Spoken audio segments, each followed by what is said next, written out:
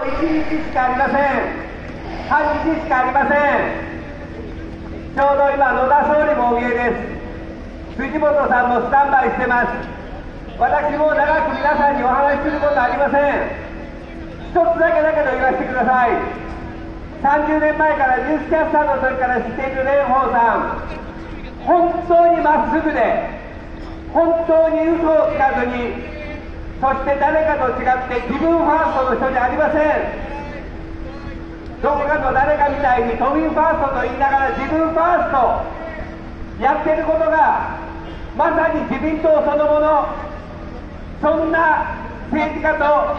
蓮舫さんは全く対極にある人です。これだけは皆さんに分かってほしい。そしてさっき言いかけたけれども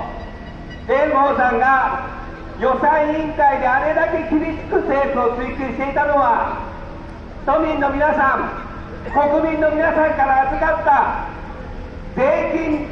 1円1銭たりとも無駄にはしたくないその思いでその一心で蓮舫さんは20年間参議院議員として活動していました。蓮舫さん参議院の最終日に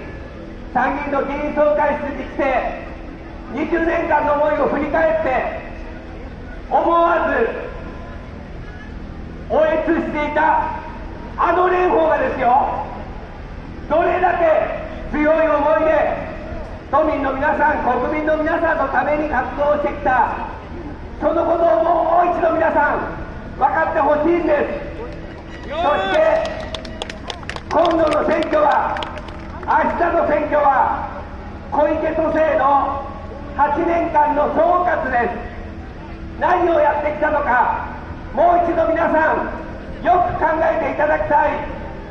神宮外苑の再開発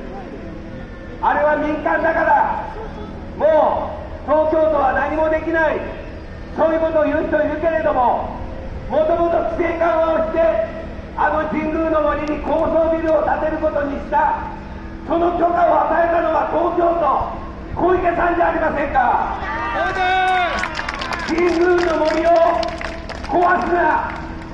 そしてこれ以上東京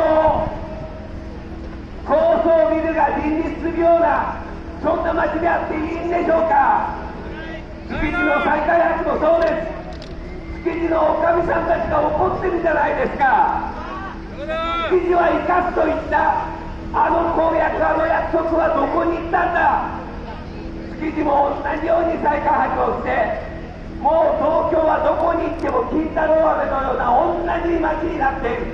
この自由が自由が丘だって私ここでよく飲んでました大学の時から駅前再開発している。どこも再開発しただけだ。だけど本当にこんなにビルが立ち並ぶ東京じゃなくてもっと自由が丘は自由が丘らしい。そしてそれぞれの町に築地にした町に個性のあるそういう東京ともう一回取り戻そうじゃないですか皆さん。開発にしているのじゃないんですよ。そこに住んでいる皆さん一人一人のための個性なんですよ。弱い立場の方困難を抱えている方子供2人3人4人と抱えて一生懸命働いてらっしゃるシングルマザーの方。そして月に5万円6万円の年金生活で今この物価高騰の中で本当に苦しんでいる都心の高齢者の方。私が住んでる北本タワーの方も大倉ランチがあります。あそこも本当に高齢者の方ばらけ。高島平に行ってもいろんなところに行ってもやっぱり高齢者の方がさんいらっしゃる。蓮舫さんは子ども子育て政策若者支援ばっかり言ってるそういうふうに思われる方がいらっしゃるか分かりませんけれどもこれは全ての都民の皆さん一人一人の個性を蓮舫さんは実現しようということなんです。最後にもう一つだけ言わせてください。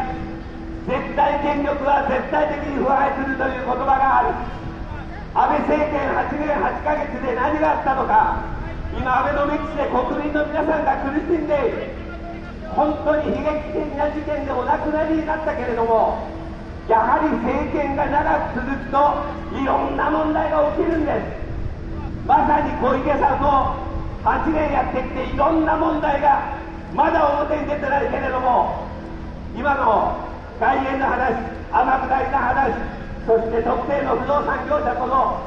関係についてもそうです。これからいろんな海が出てきますもう小池百合子さんには退場してもらっていいんじゃないでしょうか皆さん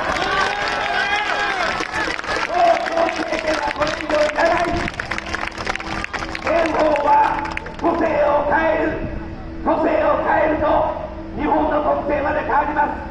都民の皆さん一人一人の意識が変わる。蓮舫さん本当にまっすぐで鉄壁でそして嘘がない人だから絶対に小池都政と全く違う東京都政を作ってくです私はその確信をしているものであります。選挙は2番じゃダメなんですよ。選挙は1番じゃなきゃダメなんですよ。しかも投票箱の蓋が閉まるまで本当に選挙自分も2回やって何があるか分かりません。蓮舫さん勝たなきゃダメなんです。こうやって皆さん R の。この大きなステッカーを持ったりいろんなところで駅前で立ってくださっている皆さん。本当にその皆さん一人一人のご支持ご支援がここまで17日間の選挙戦を戦い抜くことができたこと大きな原動力です。だけど前線じゃダメなんです。どうか電報電報電報をかざしてください。